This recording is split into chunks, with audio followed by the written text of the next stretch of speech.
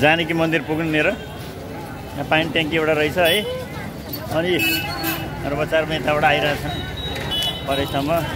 फोहोर यो छठ पर्वको लागि। यहाँ किरिङ पनि पाउँदछ ल।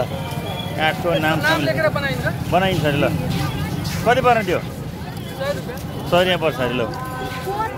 मनपर्छ भने गरिहाल्नु। ठाउँ रहेछ यतापट्टि।